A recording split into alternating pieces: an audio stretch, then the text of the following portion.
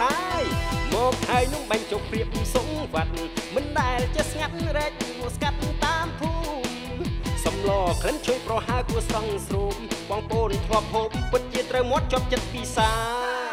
លក់បានសាក់ពី3ចានមិនថ្មីសំឡសាច់ត្រីបងស្លឹកគ្រៃផងណា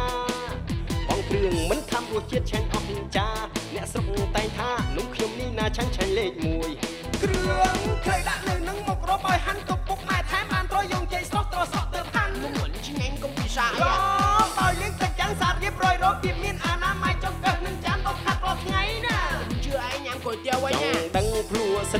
ក៏បាន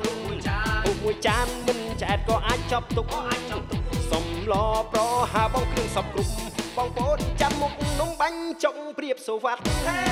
នំខ្ញុំអ្នកគូចូលចិត្តរញៀវមិនដូចគុយទាវគ្មានអ្នកជាវគ្មានអ្នកស្កាត់អ្នកស្កាត់សំឡនំបាញ់ចុកខ្មែរតែងត្រូវមាត់អ្នកផងហៅខាត់សរសើរគ្រប់មាត់ថាឆេញពិសាណា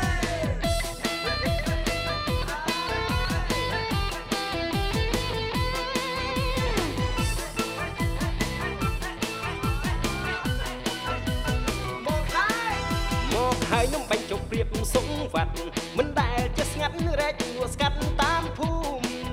សំឡក្លិនជួយប្រហើគួស្រង់ស្រូបបងប្អូនធ្លាប់ហូបពិតជាត្រូវមាត់ជាប់ចិត្តពិសាណាលក់បានសាក់ពី3ចានមិនថ្មីសំឡសាច់ត្រីបងស្លឹកគ្រៃផងណាបងគ្រឿងមិនខំរសជាតិឆ្ងាញ់អស់ចាអ្នកស្រុកតែងថានំខ្ញុំនេះណាឆាញ់ឆាញ់លេខ1គ្រឿងក្រៃដាក់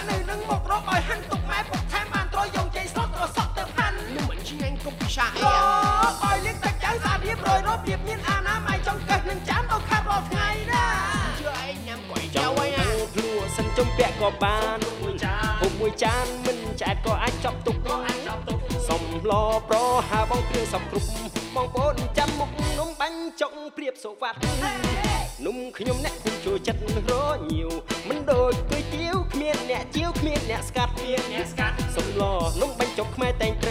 ប់អ្នកផងហៅគាត់សរសើរគ្រប់មាត់ថាឆាញ់ពិសាណា